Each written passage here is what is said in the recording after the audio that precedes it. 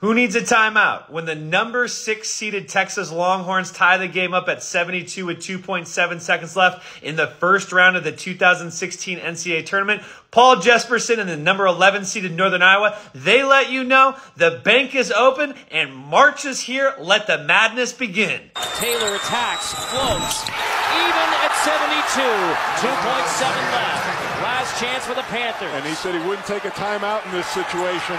Jesperson, half court heave for the